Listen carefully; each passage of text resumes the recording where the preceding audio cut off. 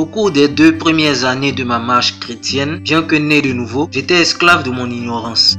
Je fonctionnais comme étant sous la loi et ainsi je limitais l'action du Saint-Esprit dans ma vie. Sous la nouvelle alliance, le Saint-Esprit habite dans le chrétien car Jésus a porté tous nos péchés en son corps sur le bois. Il n'en était pas ainsi dans l'ancienne. Sous la loi, il était impossible pour le Saint-Esprit de demeurer dans un corps pécheur car les hommes étaient jugés selon leurs œuvres. Ainsi, lorsque le Seigneur voulait accomplir une œuvre parmi nous, il faisait reposer son esprit sur la personne choisie, et ce durant la tâche qu'il lui confiait. Cependant, il fallait que cette personne respecte à la lettre les prescriptions que le Seigneur lui donnait. Voyons ensemble quelques cas que nous relate la Bible. L'Éternel parla à Moïse et dit, Prends la verge et convoque l'assemblée, toi et ton frère Aaron. Vous parlerez en leur présence au rocher, et il donnera ses eaux. Tu feras sortir pour eux de l'eau du rocher et tu abreuveras l'assemblée et leur bétail. Puis Moïse leva la main et frappa deux fois le rocher avec sa verge. Il sortit de l'eau en abondance. L'assemblée but et le bétail aussi. Alors l'Éternel dit à Moïse et à Aaron, Parce que vous n'avez pas cru en moi pour me sanctifier aux yeux des enfants d'Israël, vous ne ferez point entrer cette assemblée dans le pays que je lui donne. Nombre chapitre 20, les versets 7 à 8 et 11 à 12 nous voyons que Moïse n'a pas respecté la prescription de l'Éternel qui lui disait de parler au rocher. En frappant celui-ci, il a désobéi, ce qui entraîna le jugement immédiat du Seigneur. Nous constaterons plus en avant dans l'Écriture que Aaron et Moïse mourront avant que les enfants d'Israël ne rentrent en Canaan, et cela à cause du péché de Moïse. Car tu vas devenir enceinte et tu enfanteras un fils. Le rasoir ne passera point sur sa tête, parce que cet enfant sera consacré à Dieu dès le ventre de sa mère, et ce sera lui qui commencera à délivrer Israël de la main des Philistins. Il lui ouvrit tout son cœur et lui dit, Le rasoir n'a point passé sur ma tête, parce que je suis consacré à Dieu dès le ventre de ma mère. Si j'étais rasé, ma force m'abandonnerait, je deviendrais faible, et je serais comme tout autre homme. Elle l'endormit sur ses genoux, et ayant appelé un homme, elle rasa les sept tresses de la tête de Samson, et commença ainsi à le dompter. Il perdit sa force. Elle dit alors, Les Philistins sont sur toi, Samson. Et il se réveilla de son sommeil et dit, Je m'en tirerai comme les autres fois, et je me dégagerai.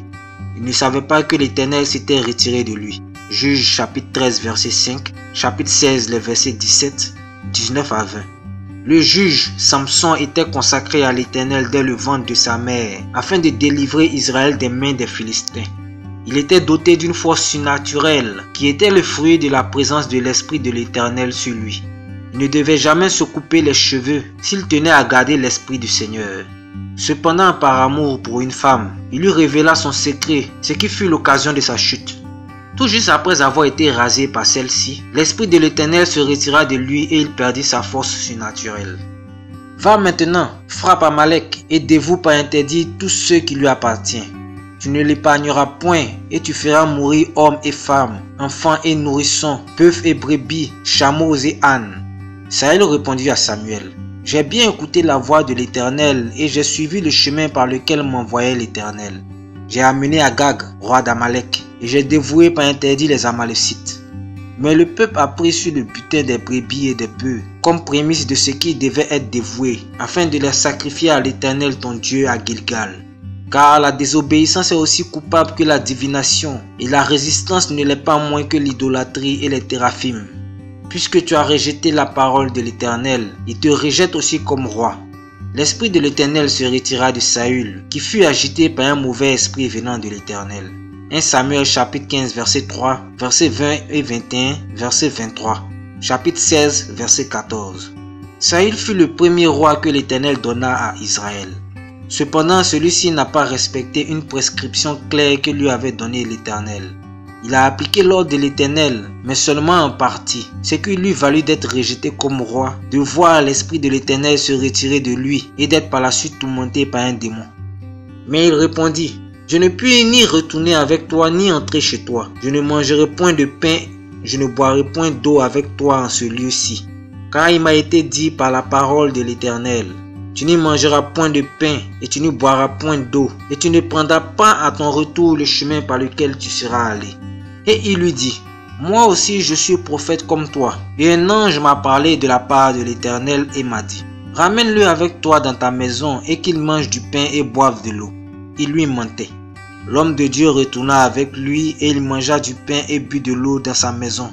Comme étaient assis à table, la parole de l'Éternel fut adressée au prophète qui l'avait ramené. Et il cria à l'homme de Dieu qui était venu de Juda. Ainsi parle l'Éternel. Parce que tu as été rebelle à l'ordre de l'Éternel et que tu n'as pas observé le commandement que l'Éternel ton Dieu t'avait donné, parce que tu es retourné et que tu as mangé du pain et bu de l'eau dans le lieu dont il t'avait dit, tu n'y mangeras point de pain et tu n'y boiras point d'eau, ton cadavre n'entrera pas dans le sépulcre de tes pères. 1 roi chapitre 13 versets 16 à 22. Ce prophète quant à lui avait reçu des instructions claires de la part de l'Éternel pour lesquelles il s'est appliqué. Cependant il s'est laissé tromper par un autre prophète qui lui a menti. Son erreur fut d'avoir substitué la parole de l'Éternel à celle d'un ange. Les conséquences de sa désobéissance ont été sa mort violente, tué par un lion. Et Élisée dit à Géasi, Saint-Terrain, prends mon bâton dans ta main et pars. Si tu rencontres quelqu'un, ne le salue pas. Et si quelqu'un te salue, ne lui réponds pas. Tu mettras mon bâton sur le visage de l'enfant. Géasi les avait dévancés et il avait mis le bâton sur le visage de l'enfant. Mais il n'y eut ni voix ni signe d'attention. Il s'en retourna à la rencontre d'Élisée et lui rapporta la chose en disant L'enfant ne s'est pas réveillé. 2 Rois chapitre 4 versets 29 et 31. Ici le prophète choisi de l'Éternel est Élisée. Celui-ci mandate son serviteur pour une mission particulière. Il lui partage son onction au travers de son bâton, telle une bûche enflammée par un foyer. La condition pour maintenir la flamme allumée était de ne parler à personne en chemin. Nous constatons qu'après avoir agi selon l'ordre qu'il avait reçu de la part du prophète, le serviteur s'en retourna confus. L'écriture ne nous le dit pas explicitement, mais nous pouvons comprendre par déduction la raison de son échec. Après ces quelques exemples, nous pouvons conclure que lorsque nous sommes sous la loi, maintenir le Saint-Esprit sur nous revient à danser sur un pied, tout en essayant de ne point faire tomber un œuf retenu au bout d'une cuillère que nous avons en bouche. Il nous est impossible de demeurer dans la présence du Seigneur tout en étant sous la loi. Grâce soit rendue à notre Seigneur Jésus qui, par amour pour nous, a bien voulu se sacrifier pour payer le prix de toutes nos transgressions, afin que nous puissions nous approcher de Dieu en toute assurance.